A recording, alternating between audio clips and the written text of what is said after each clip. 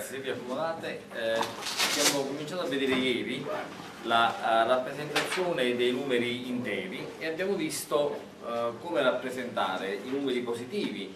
E qui adottiamo la rappresentazione in binario, quindi uh, se vogliamo vedere come è rappresentato un dato nel registro facciamo la conversione da base 10 a base 2, otteniamo la stringa di bit Uh, se il numero di bit ottenuto è inferiore alla dimensione del registro, per ottenere la rappresentazione bisogna completare la dimensione con tanti bit zeri fino ad arrivare al riempimento del registro. Quindi se ho un registro di 16 bit, fatta la conversione, ottengo per esempio un numero su 10 bit, aggiungo altri 6 bit posto uguale a 0 in testa al numero e questa è la rappresentazione dell'intero positivo. Poi ci siamo occupati di rappresentare i numeri con segno e abbiamo visto che eh, la rappresentazione che utilizziamo noi eh, nell'algebra nell usuale, cioè la rappresentazione in segno e modulo, in realtà per il calcolatore è molto onerosa perché è complesso andare a individuare in base al segno dei, dei singoli, nel caso di un'addizione, dei singoli addendi qual è l'operazione che effettivamente deve essere fatta, se è un'addizione o una sottrazione. E la stessa cosa vale nel caso bisogna fare un'operazione di sottrazione tra uh, due interi. Abbiamo visto che con la rappresentazione eh, in complemento alla base possiamo ottenere una rappresentazione più efficace, non abbiamo il problema della doppia rappresentazione dello zero e possiamo eseguire in maniera molto semplice le operazioni aritmetiche e eh, possiamo fare tutto con due circuiti, con un circuito addizionatore e con un circuito complementatore.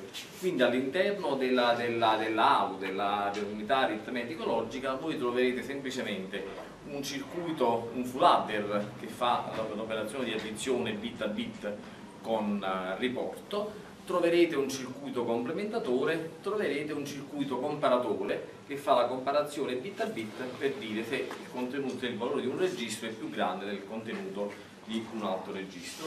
E abbiamo visto anche come è facile effettuare le operazioni e soprattutto come è facile individuare la condizione di overflow, quella condizione che eh, ci porta ad ottenere un numero che è scorretto vale a dire quando eccediamo la dimensione del registro abbiamo visto che quello che troviamo nel registro è il resto modulo 2 alla n del, del, del, valore, del valore, vero e questo chiaramente eh, deve essere tenuto in conto perché se otteniamo un risultato scorretto dobbiamo accorgercene durante le operazioni. Abbiamo anche visto che questo eh, risultato viene eh, memorizzato all'interno del processore in, una, in, un apposito bit che è appunto il, il, il di flag di overflow.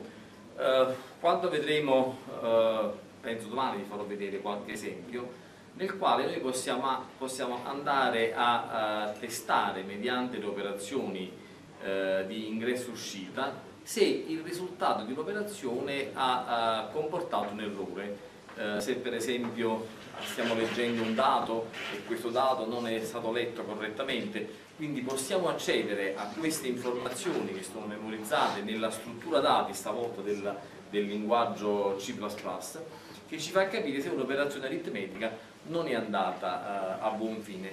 Domani, la, quando ci vedremo lunedì prossimo, vi farò vedere qualche esempio, insieme alla gestione dei file, vi farò vedere qualche esempio di, uh, di queste cose. Un altro tipo di rappresentazione che è largamente utilizzato nei calcolatori è la cosiddetta rappresentazione per eccessi. Questa rappresentazione concettualmente è molto simile alla, alla rappresentazione in complementi alla base eh, e ha una caratteristica eh, interessante.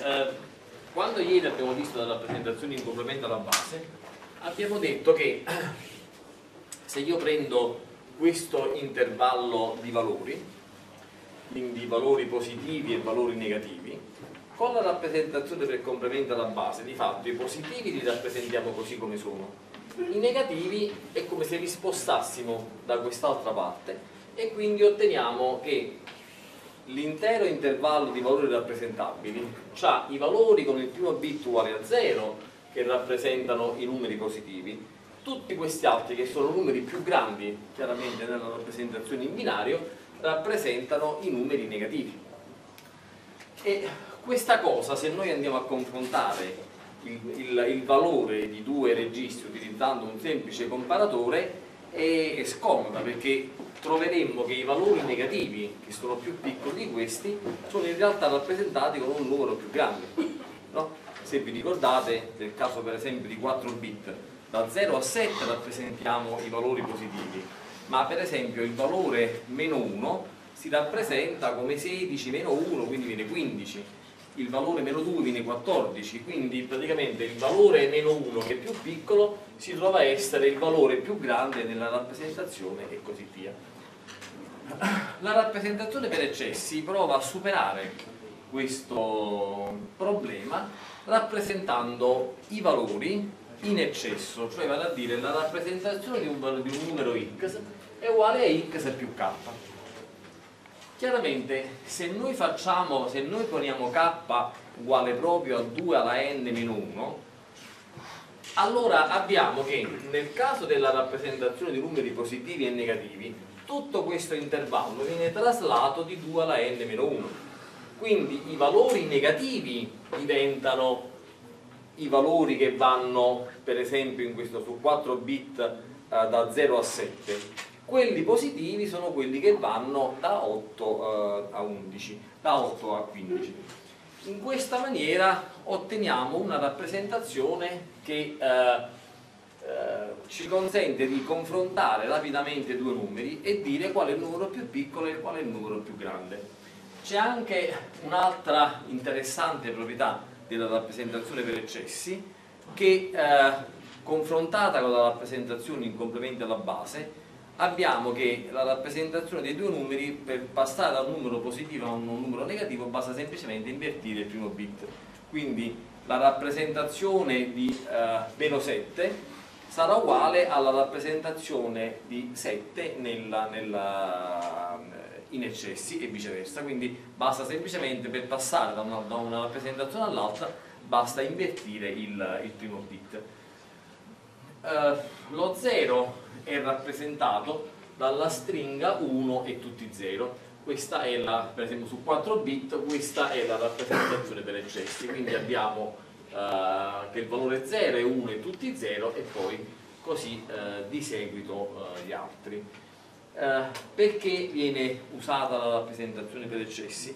Eh, vi farò vedere che è largamente utilizzata eh, come una parte della rappresentazione dei numeri reali e in particolare la rappresentazione per eccessi viene utilizzata per rappresentare l'esponente in una rappresentazione dei numeri reali in segno e modulo. Questa è una cosa che vi farò vedere eh, tra un attimo.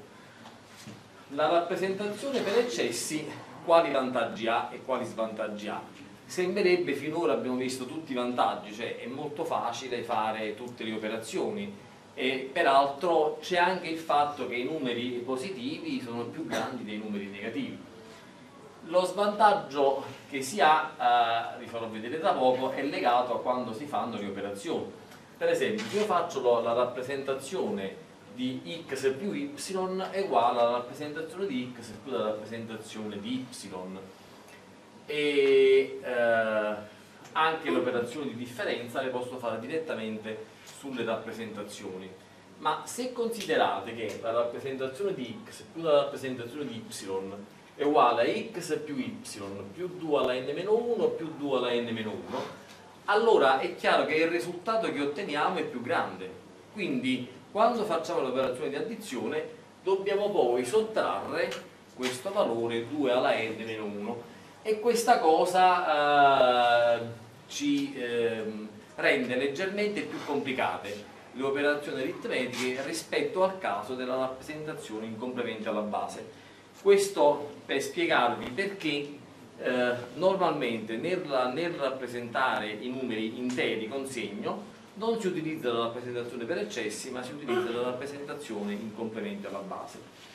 Questa ha una serie di, caratteristiche interessanti perché come dicevo posso fare le operazioni direttamente sulle rappresentazioni così come facevo per complemento alla base ma c'è questo aspetto che la rende un po' più complicata anche proprio a livello circuitale. E anche qui nel caso in cui l'operazione produce un numero al di fuori dell'intervallo di rappresentazione, otteniamo un, un overflow e il modo di individuare l'overflow è, è, identico a quello che abbiamo visto con la rappresentazione in complementi alla base. Queste sono veramente molto simili, a meno di questo aspetto che è un aspetto più negativo nel caso della rappresentazione eh, in complemento alla base. Eh, in questo lucido vedete qual è proprio il rapporto tra complementi alla base eh, ed eccessi. Allora, questo è l'intervallo di valori che voglio rappresentare, quindi valori negativi e valori positivi. Se uso la rappresentazione eh, in complemento alla base, ottengo che i positivi sono rappresentati esattamente da una funzione identica, i negativi invece sono rappresentati da questi valori che sono più grandi.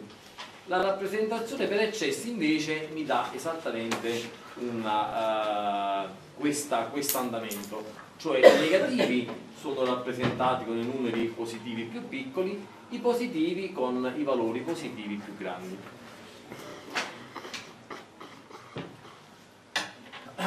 Bene, adesso passiamo al problema della, della rappresentazione dei numeri reali. Allora, qui qual è la difficoltà? Se vi ricordate, avevamo già fatto un uh, discorso all'inizio del corso quando abbiamo provato a ragionare uh, sul modo in cui vengono rappresentati i dati. All'epoca ci siamo occupati di dire uh, come era fatto un registro, abbiamo visto come venivano rappresentati i caratteri mediante il codice ASCII e abbiamo capito che indipendentemente dal, da come io rappresento, in un registro di n bit più di 2 alla n cose diverse non ci posso scrivere. Allora, per i numeri interi è abbastanza naturale associare a ogni configurazione del registro uno e un solo numero intero, perché i numeri interi, per quanto rappresentino un insieme infinito, però è un insieme infinito numerabile. Allora io posso scegliere un intervallo che ha una rappresentazione perfetta, cioè a ogni configurazione di bit corrisponde uno e un numero uh, intero. Il problema con i numeri reali è che l'insieme dei numeri reali, come si dice, è denso in sé, cioè io comunque prendo un intervallo piccolo a piacere, ci trovo infiniti numeri reali lì dentro. Allora, uh, mentre nel caso dei numeri interi io scelgo uh, l'intervallo che voglio rappresentare in base alla dimensione del registro, se ho 4 bit c'è poco da fare, più di eh, 2 alla quarta, cioè 16 numeri diversi, non li posso rappresentare. Ma nel caso dei numeri reali ho voglia di fare piccolo l'intervallo, là comunque ci stanno infiniti numeri reali dentro. Quindi nasce un problema di errore di rappresentazione. Comunque vada, io devo fare un'approssimazione. Quando rappresento i numeri reali, quindi passando dall'algebra del continuo all'algebra dei registri o che eh, nel caso dei numeri reali c'è un errore di rappresentazione. Devo solo capire come voglio rappresentare questi valori. Io potrei, in via di principio, prendere un intervallo di valori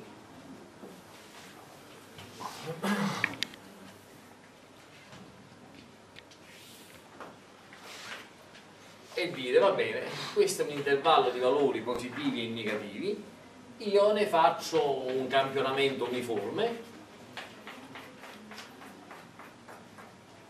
E eh, a ogni campione associo una e una configurazione del mio registro.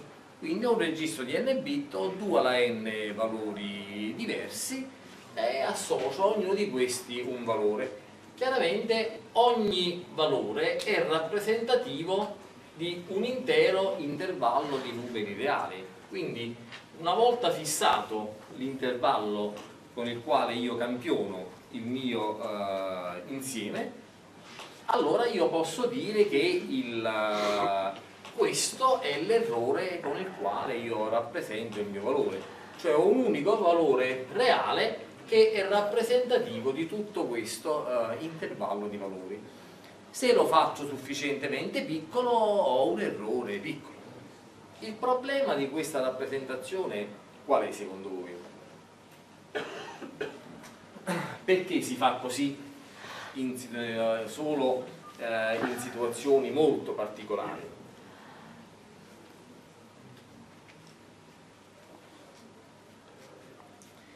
Ragazzi, qui che cosa è costante? È costante l'errore assoluto che io faccio rappresentando il mio valore. Ma questo è proprio quello che voglio. Se io sto rappresentando un insieme di eh, valori, di numeri reali molto grande, eh, io posso accettare un errore eh, di un centimetro, no? faccio per dire, stesso ste, eh, sto misurando la distanza da Napoli a Roma, ma magari se sto misurando la dimensione di questo tavolo, un centimetro è un errore grande perché posso per esempio non poterlo collocare in uno spazio ho assegnato. Allora qui il problema è che l'errore è costante sia a fondo scala sia per valori molto piccoli quindi anche per valori prossimi allo zero io rappresento tutto con lo stesso errore assoluto. E questa cosa salvo applicazioni particolari è eh, molto sconveniente. Quello che io vorrei è avere un errore relativo costante. Cioè vorrei fare in modo che eh, per numeri grandi posso accettare un errore anche più grande. Per numeri molto piccoli devo accettare un errore molto piccolo. Beh, allora, quello che eh, si è deciso, quello che si è adottato come rappresentazione è una uh, rappresentazione, eh, diciamo, in segno e modulo. Qui qual è l'idea? Che io ho uh, un, diciamo, se io vado a guardare l'errore di rappresentazione, no? immaginate che io rappresenti Facciamo un esempio nel caso dell'aritmetica decimale. Supponete che io sto rappresentando eh, il mio valore, il mio numero reale, mediante una rappresentazione nella quale ho eh, mantissa ed esponente. Quindi si dice che sto utilizzando quella che si chiama una notazione scientifica. Ragazzi dovreste essere abituati a questa notazione perché anche sulle macchinette da tavola quando un numero reale da rappresentare è troppo grande, eccede la dimensione del, del display, la, uh, si passa automaticamente nella, nella, rappresentazione in segno e modo, in mantissa esponente. Quindi abbiamo la mantissa e l'esponente. Allora, questa rappresentazione che caratteristiche ha? Prima di guardarne i dettagli dal punto di vista uh, realizzativo, volevo uh, discutere con voi la logica che c'è dietro. Allora, Facciamo un esempio nel caso dell'aritmetica decimale. Quindi immaginate che io abbia a mia disposizione 1, 2, 3, 4, 5, 6, 7, 8 cifre per rappresentare la, la, diciamo la, la mantissa, poi ho il segno, poi ho due cifre per l'esponente con il segno. Allora, un primo problema che si ha nel rappresentare i numeri reali così è che eh, questa rappresentazione non è univoca. Se io prendo il numero 127,34, eh, io lo posso scrivere così, per 10 alla 0, ma lo posso scrivere come 1,2734 per 10 al quadrato, ma lo posso scrivere anche come 1,2734,0 eh, per 10 alla meno 2 e così via. Cioè non ho una univocità di rappresentazione. Beh, allora la prima cosa da fare è stabilire una convenzione. Se voglio rappresentare i numeri reali in questa forma, eh, devo scegliere tra tutte queste possibili rappresentazioni, ne devo scegliere una convenzionale e riferirmi sempre a quella. Allora, per esempio, possiamo immaginare di stabilire per convenzione e un numero lo rappresento sempre come 0, cifre per l'esponente. Quindi è come se prendessi un numero decimale puro come mantissa e poi ci metto uh, l'esponente opportuno.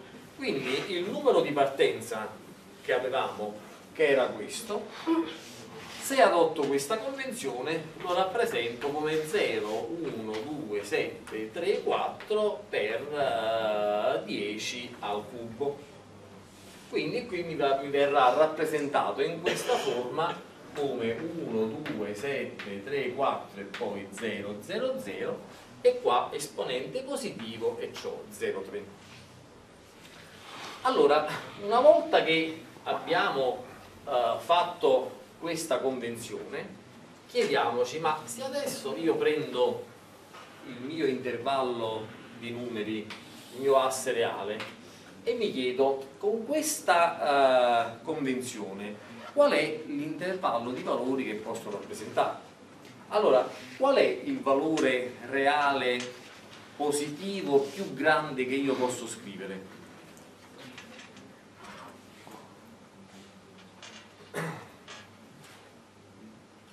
Qua, il fondo scala qual è?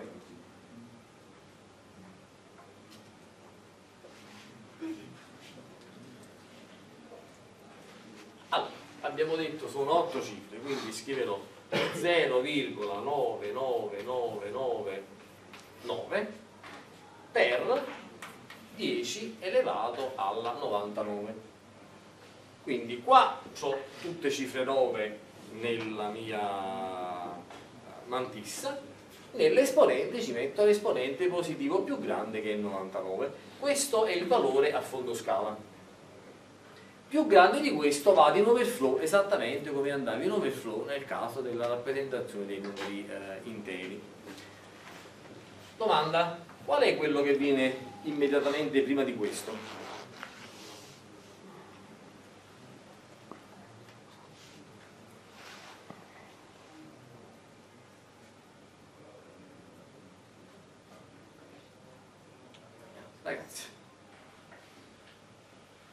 Questo qua dove l'ultima cifra è 8 invece di essere 9 e questo è quello che sta qui qual è la differenza tra questi due?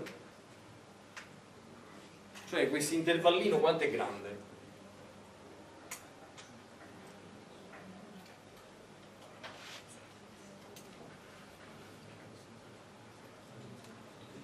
la differenza tra questi due è pari a diciamo a uh, 0,0001 quindi praticamente 10 alla meno 8 perché ho una mantissa di 8 bit per 10 alla 99 quindi questo intervallo è un, è un intervallo che è enorme perché sto, è dell'ordine di 10 alla 99 meno la dimensione del registro quindi 10 alla 91 sto dicendo che ho un, uh, un, un, intervallo qui a fondo scala molto grande qua ho la rappresentazione dello 0 qual è il numero positivo più piccolo che posso scrivere qua?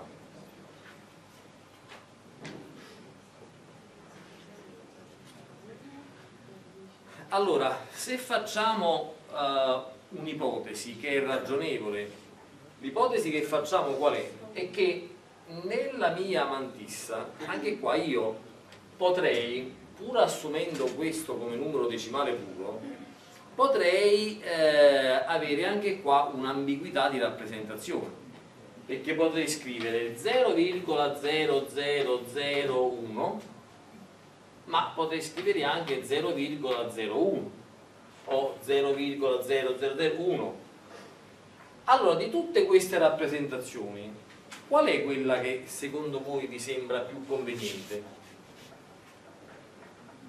Cioè, se proprio dovessi scegliere in questa mantissa come ci metto i numeri, quale mi sembrerebbe la soluzione migliore? Vi formulo la domanda in altro modo. Supponete che io ho il numero 23,345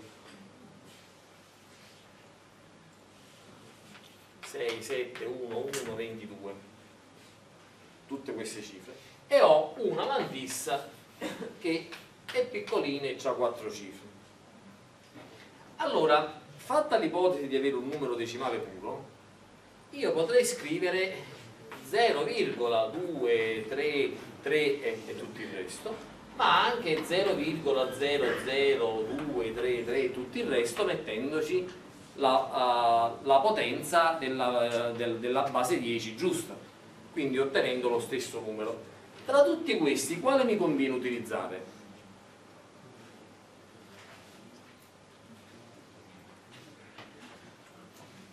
ragazzi mi conviene utilizzare questo perché se utilizzo questa pur avendo quattro cifre qua io scrivo 2, 3, 3, 4 poi le altre non c'entrano perché il registro è piccolo e le perdo. Ma se adotto questa e io qua scrivo 0, 0, 0, 2 è vero che con la potenza della, della, della base io ritrovo lo stesso ordine di grandezza ma è anche vero però che di tutte le cifre del numero queste le ho perse e mi è rimasta solo questa qua.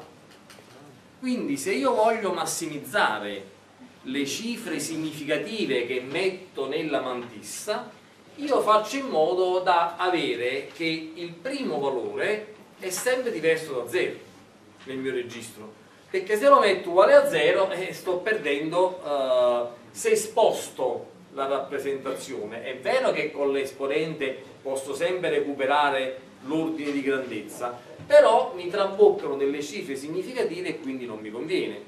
Allora i progettisti si sono inventati una rappresentazione che si chiama normalizzata.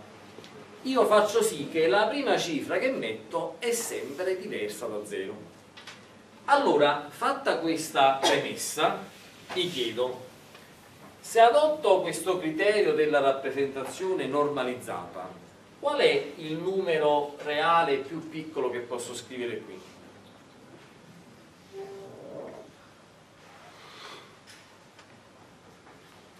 Abbiamo detto che la prima cifra non può essere uguale a 0, quindi sarà 0,1 e poi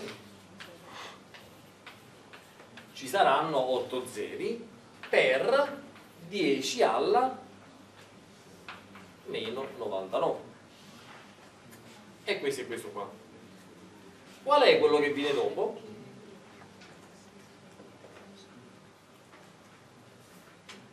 uno in ultima posizione per 10 alla meno 99 qual è l'ampiezza di questo intervallino?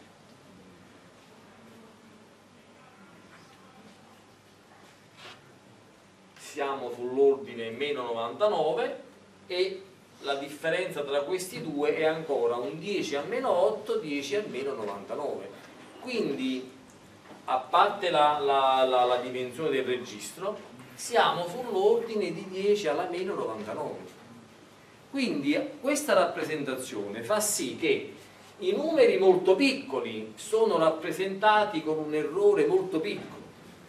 I numeri molto grandi sono rappresentati con un errore molto grande quindi se volessi guardarlo come campionamento direi che per valori piccoli qua i numeri sono molto fitti via via che ci spostiamo i numeri sono molto più diradati in questa rappresentazione. Quindi abbiamo fatto proprio quello che volevamo.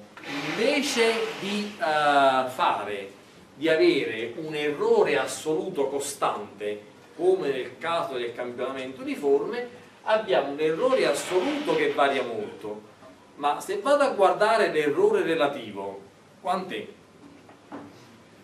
l'errore relativo è valore vero meno valore misurato fratto valore vero fondo scala abbiamo detto 10 alla, 90, alla 99 fratto 10 alla 99 quindi che cosa mi rimane? Mi rimaneva solo quel 10 alla meno 8 che era questo valore qua. E qui la stessa cosa 10 a meno 8 per 10 alla meno 99 diviso 10 alla meno 99 mi rimane lo stesso valore 10 a meno 8 quindi abbiamo capito che l'errore relativo rimane costante lungo tutta la scala e questo errore relativo da che cosa dipende?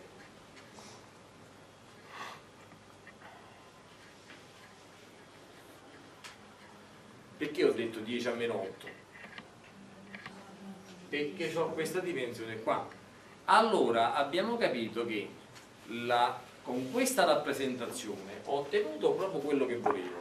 Errore relativo costante, errore assoluto molto diverso in base al fatto che sto all'inizio diciamo, con valori molto, molto piccoli o sto a fondo scala della mia rappresentazione. L'errore relativo rimane costante lungo tutta la rappresentazione e l'errore relativo dipende solo dalla dimensione del registro. Allora, quali sono i due parametri sui quali si gioca la mia rappresentazione? Se io avessi un certo numero di cifre fissato a disposizione, quali sono i due parametri su cui gioco? Quante più cifre do all'esponente, tanto più grande è l'intervallo di rappresentazione, ma se per dare più cifre all'esponente do meno cifre alla mantissa, tanto minore sarà la precisione. La precisione è legata all'errore relativo, quindi quanto meno cifre ci metto nella mantissa, tanto più bassa è la precisione. Quante più cifre do all'esponente, tanto più grande è l'intervallo di valori che posso rappresentare. Allora i progettisti possono lavorare su questi due parametri, la dimensione della mantissa, il numero di bit destinato all'esponente. Ovviamente per i numeri negativi vale esattamente lo stesso discorso perché qua ho il segno della mantissa e il segno ovviamente dell'esponente. Una uh, piccola considerazione uh, ancora prima di uh, andare avanti con la parte più descrittiva della, di questo approccio. volevo ragionare un attimo con voi su quello che succede per valori molto piccoli. Allora, mettiamoci nell'intorno dello zero. Abbiamo visto con questa rappresentazione che se adotto il criterio della normalizzazione, il valore più piccolo che posso rappresentare è 0,1000 e poi tutti i zeri uh, per 10 alla meno 99 supponiamo che questo sia il, il valore.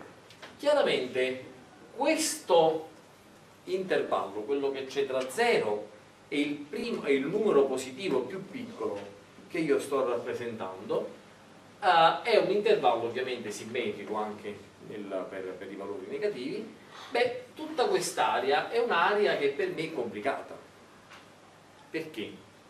perché valori positivi o valori negativi diversi da 0 vengono confusi con lo 0 questo perché è un problema? È un problema nelle divisioni. Eh, noi non abbiamo avuto il tempo di fare alcuni algoritmi che probabilmente vedrete più avanti di eh, analisi numerica, ma se io voglio per esempio risolvere un sistema di equazioni differenziali, ci sono dei metodi numerici che dati i coefficienti, eh, la, la, matrice dei coefficienti e i termini noti del, del sistema di equazioni eh, operando con la tecnica del pivoting si chiama, cioè facendo divisioni successive dei coefficienti sulle diverse eh, equazioni arrivano a mettere una matrice in forma triangolare quindi otteniamo la soluzione del, del mio sistema di equazioni. Ma nel fare questo io faccio delle divisioni eh, per dei coefficienti. E se per caso i coefficienti sono piccoli e facendo queste operazioni ottengo valori via via più piccoli, non appena questi valori diventano troppo piccoli e si confondono con lo zero il sistema mi va a pallino perché mi compare un errore divide by zero e quindi l'algoritmo la, si blocca. Allora in tutte le tecniche numeriche dove io faccio delle divisioni e dove queste divisioni possono uh, diventare, possono dare origine a errori perché il numero non era uguale a 0, non sto commettendo teoricamente un errore, l'errore lo sto commettendo perché un numero diverso da 0 mi finisce in questo intervallo e questo intervallo eh, viene confuso con lo 0 e quindi genera un errore. Quest'area è quella che si chiama underflow. Mentre l'overflow è andare oltre l'intervallo di valori che posso rappresentare, l'underflow significa finire in questa zona dove un valore diverso da 0 è di fatto eh, confuso con il valore 0. Allora, io nell'ambito di questa rappresentazione posso porre un qualche piccolo rimedio al problema dell'underflow? Cioè a me in fondo farebbe comodo ridurre quanto più possibile quest'area, perché più la riduco e più questo rischio non lo corro. Chiaramente so di non poterla ridurre a zero, perché questo errore è insito nella rappresentazione che sto facendo. Però mi chiedo, posso eh, ridurre questo intervallo? Secondo voi c'è un modo per rimpicciolire questo intervallo?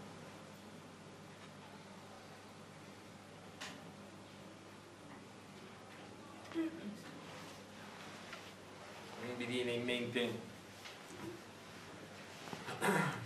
Ragazzi, il metodo più semplice è che per valori molto piccoli io rinuncio alla rappresentazione normalizzata. Perché se io ci rinuncio e per valori molto piccoli, ragazzi, molto piccoli significa minori di questo, io rinuncio ad avere questa uh, rappresentazione normalizzata allora il mio uh, il valore più piccolo che posso rappresentare non è questo ma è questo. Che ci ho guadagnato?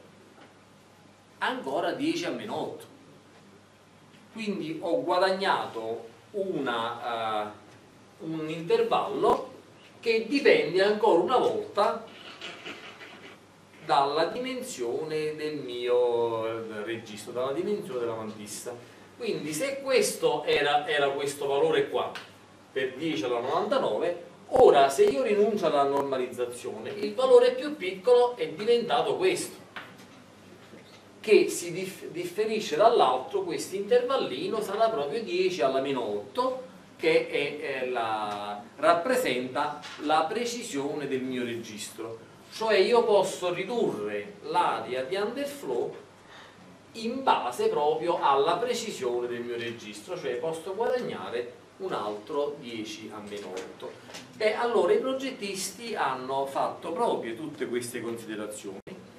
Tra un attimo vedremo eh, qual è la rappresentazione che diamo dei valori eh, reali e eh, vedremo come tutte queste considerazioni sono state adottate e hanno dato origine a uno standard che si chiama standard IE 754 questa è una sigla ma insomma questa cosa è stata standardizzata per cui adesso in tutti i sistemi di calcolo del mondo quando si rappresentano i numeri reali si, è, si, adotta un criterio di rappresentazione molto preciso eh, e puntuale.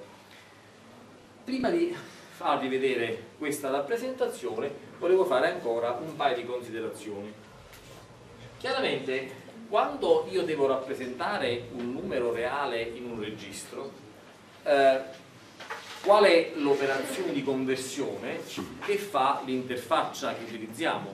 Quando noi diciamo cin maggiore maggiore x e x è un numero reale l'ho definito come float x io da tastiera batto i tasti 3, 4, 7, punto, 9, 8, 11, 22. Tutti questi numeretti, tutte queste eh, cifre battute dal, dal mio utente vengono acquisite dall'interfaccia di ingresso-uscita, vengono trasformate in un numero eh, reale nella rappresentazione interna al calcolatore e memorizzate in un registro. Allora, qual è l'operazione concettuale che deve essere fatta per passare dalla rappresentazione di un numero reale scritto in aritmetica decimale alla rappresentazione di un numero reale scritto in binario. Questo è il passaggio che viene fatto e poi eh, diciamo, il, dato è rappresentato secondo la rappresentazione interna che vedremo tra un attimo. Allora, noi abbiamo studiato in generale i cambiamenti di base. Abbiamo visto come si cambia una base eh, da base 10 a una base qualsiasi e da una base qualsiasi alla base 10. Abbiamo anche visto che ci sono alcuni cambiamenti di base che sono molto rapidi a farsi, quelli che coinvolgono basi che sono potenze intere di 2, quindi per esempio passare da base 8 eh, a base 16, da, da base 2 a base 8 eccetera, sono passaggi molto veloci ma ci siamo occupati sempre di cambiamenti di base di numeri interi Ma che stiamo trattando i numeri reali, volendo capire come un dato è rappresentato, dobbiamo eh, ragionare su come trasformare in, per esempio da base 10 a base 2 un numero eh, reale. Allora, la prima considerazione, eh, la lezione scorsa vi ho raccontato che per fare un cambiamento di base da un numero eh, intero in base 10, eh, da un numero intero, una base qualsiasi, eh, alla, eh, alla base, a un'altra base, eh, io faccio un'operazione di divisione. Quindi per esempio voglio passare dalla base 10 alla base 2, prendo il numero e lo divido ripetutamente per, per 2 fino ad arrivare ad avere un quoziente pari a 0. In quel caso a quel punto mi fermo e ho ottenuto, prendendo in ordine inverso i resti che ho ottenuto, ho la stringa che mi rappresenta il numero in quella base. Eh, l'avete capito perché si fa questa operazione?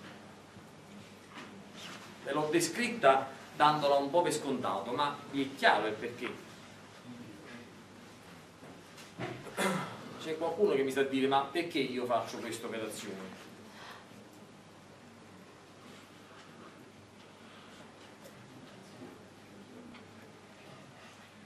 Ragazzi, un numero n a seconda della base di numerazione in cui lo uh, valuto è rappresentato da una sequenza di simboli diversi.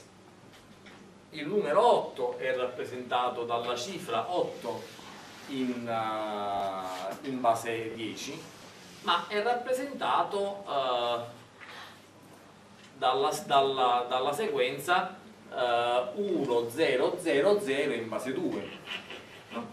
Allora, questa, queste, due, queste due sequenze di simboli pesate questa è in base 10, questa è in base 2, rappresentano lo stesso numero n. Quindi il numero n è l'entità che io sto considerando. Questo numero n è fatto da sequenze di simboli diversi a seconda della base di numerazione.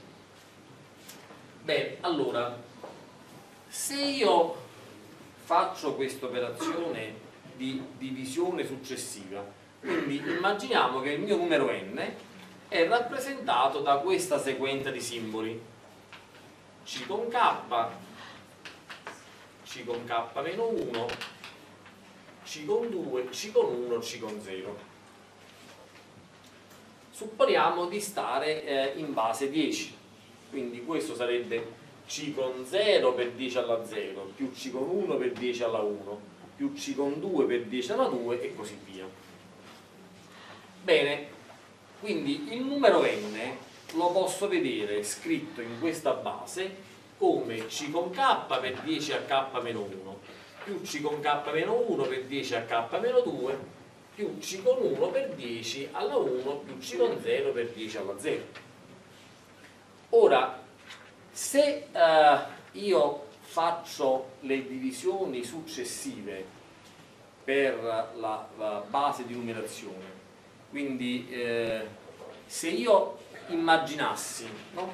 che questo è il numero in base 10, adesso se questo numero lo rappresento in base 2, avrò un'altra sequenza di simboli. Chiamiamoli C con... Uh, non vorrei confondervi con, con, con i simboli. Eh, chiamiamolo C con n-1 C con n-2 C con 1 C con 0 chiamiamoli C' questi sono i simboli che rappresentano il mio numero nella base 10 questi sono i simboli che rappresentano il mio numero nella base 2 però io il numero ce l'ho in base 10 ma vorrei ottenere questa sequenza di numeri. Ovviamente qua ci sarà 2 alla n-1 qua 2 alla n-2 2 alla 1 2 alla 0 ragazzi questi due numeri sono uguali perché questo è lo stesso numero rappresentato in base 10 e questo è lo stesso numero rappresentato in base 2 sarebbe, dire, sarebbe come dire che 8 per 10 alla 0 è uguale a 1 per 2 eh, al cubo più 0 per 2 al quadrato più 0 per 2 alla 1 più 0 per 2 alla 0 questa è la sequenza dei simboli in base 10 questa è la sequenza dei simboli in base 2 in questo caso io li conosco. Supponiamo che io conosco questi ma non conosco questi qua. Allora se io divido questa, la parte destra e la parte sinistra per 2 che cosa ottengo? che qua faccio la divisione per 2 ottengo un quoziente e un resto qui faccio la divisione per 2 e ottengo un quoziente e un resto quando faccio la divisione per 2 di questo numero ottengo qua sarà n-2, n-3 eccetera eccetera e qua 2 scompare e quindi mi rimane il coefficiente c con 0 primo. Questo è il quoziente che ho ottenuto, questo è il resto. Quindi quando faccio la prima divisione per 2, libero questa potenza qua e mi compare come coefficiente questo resto. Prendo questo numero, divido ancora per 2, riduco queste potenze, questa potenza scompare, mi rimane il coefficiente c con 1 questo è il quoziente e questo è il nuovo resto. Divido per 2 si libera il successivo questo è il nuovo resto e questo è il nuovo quoziente. Ecco perché facendo divisione per 2 io sto liberando i coefficienti. Ottengo come resto i coefficienti della mia rappresentazione in quella base questo è il motivo per il quale facendo le, le, le divisioni successive per 2 vi sto andando a tirare fuori i coefficienti della rappresentazione del numero nella base in cui voglio arrivare. Se divido per 2 sto tirando fuori i coefficienti in base 2, se divido per 3 sto tirando via via i coefficienti del numero nella base di numerazione 3. Questo per i numeri interi. Ma un numero reale come lo posso rappresentare?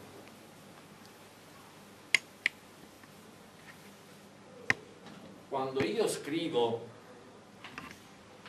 32,57 sto dicendo che questo è 3 per 10 uh, alla 1 più 2 per 10 alla 0 più e qua avrò 5 per 10 a meno 1 più 7 per 10 a meno 2 e così via. Ragazzi, i coefficienti vanno esattamente in quest'ordine. Per la parte intera ottengo 0, 1, 2, eccetera, eccetera. Per la parte decimale ho meno 1, meno 2 e così via. Allora, se voglio adesso di questo trasformare questo numero da base 10 a base 2, io prima lavoro sulla parte intera e trasformo questo in base 2 poi prendo il valore 0,57 e lo voglio uh, portare in base 2 allora qua che succede? che operazione devo fare?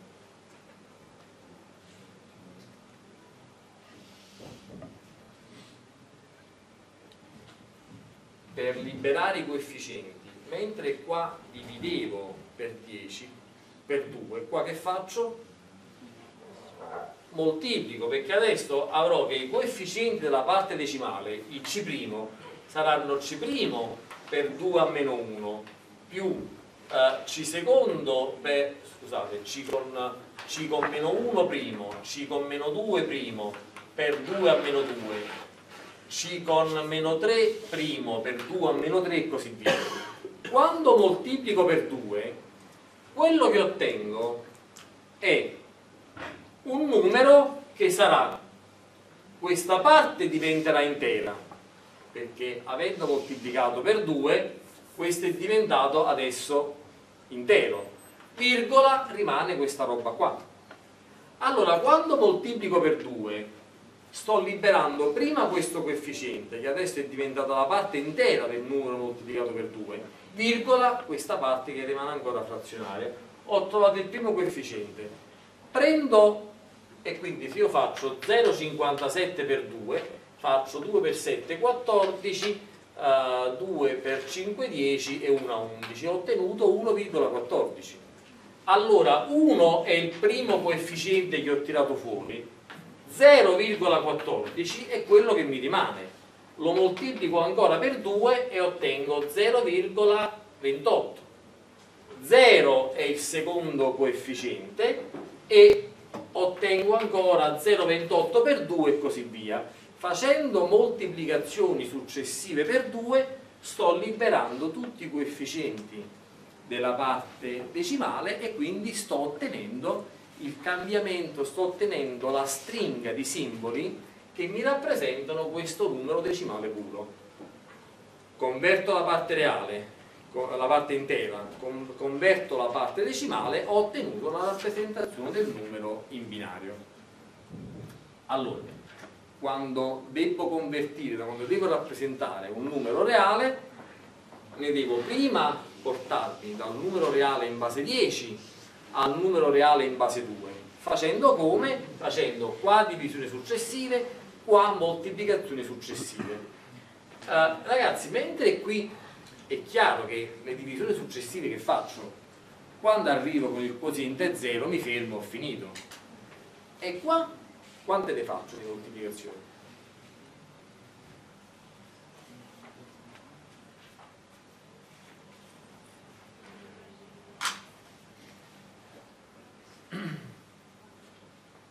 quando mi fermo qua io posso andare avanti e metto tutte le cifre quando è che a un certo punto mi fermo? Eh?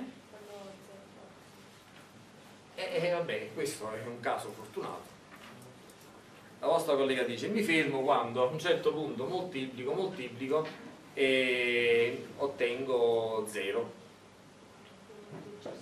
e quindi hm? Certo, una possibilità è che eh, se io eh, ho un registro di n bit faccio n eh, e ma adesso certamente c'è un limite fisico, mi fermo quando non ho più bit a disposizione. Ma la domanda è, se io vi dicessi, guarda, fammi questa cosa, però voglio che su questo numero ci sia un errore di rappresentazione pari a 10 a meno 3 allora quando mi fermo?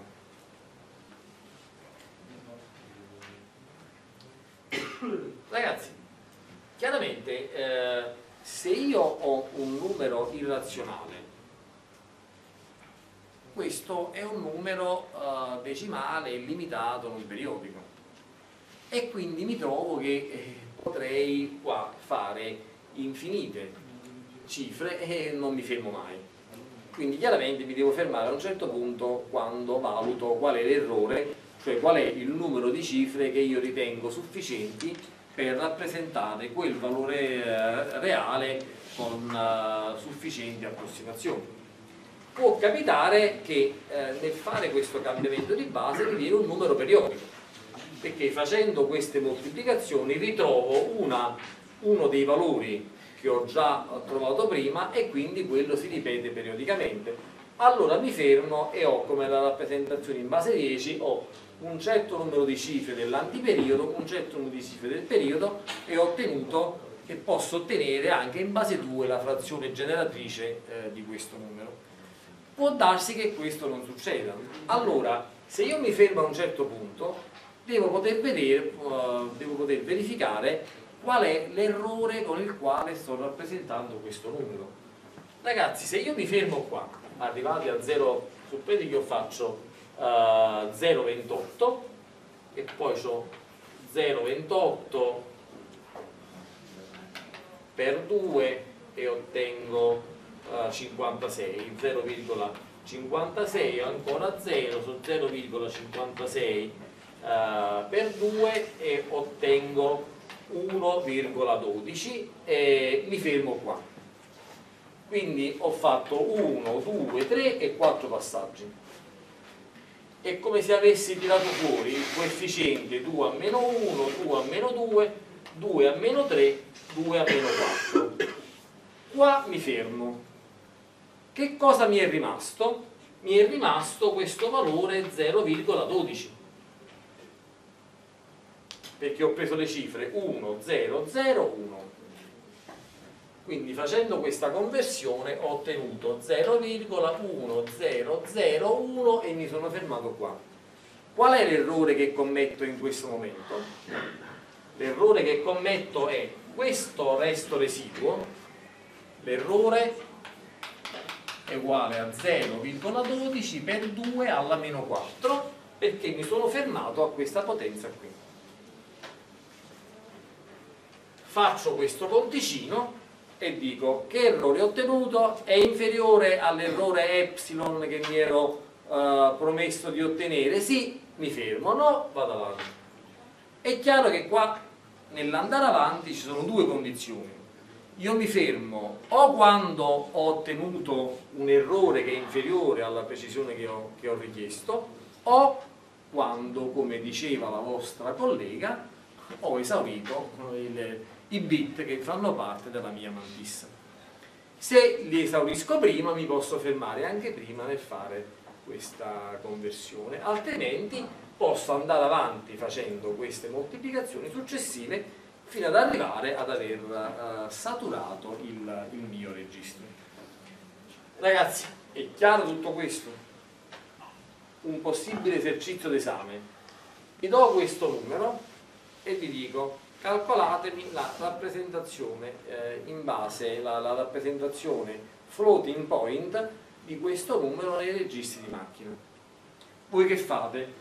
Prima lo convertite da base 10 a base 2 facendo questo giochetto qua divisioni successive e moltiplicazioni successive per fare gli esercizi in genere vi dico considerate una mantissa di 8 bit oppure usate la rappresentazione IE 754 in genere facciamo la floating che tra un attimo vedremo come, come è fatta quindi prima fate questo passaggio qua e poi aggiustate i valori in base alla rappresentazione che vi farò vedere tra un attimo. Ragazzi, questi sono i concetti fondamentali che dovete capire della rappresentazione. Capiti questi concetti, ora quello che vediamo è come si fa, qual è la convenzione che i progettisti hanno adottato per fare questo, ma dietro c'è questo ragionamento matematico che abbiamo fatto adesso. Vi è chiaro? Se vi è chiaro questo, ora sarà semplicemente vi racconto come si mettono i bit al registro abbiamo capito come è fatta la rappresentazione ok? ragazzi ci fermiamo qualche minuto e poi vi faccio vedere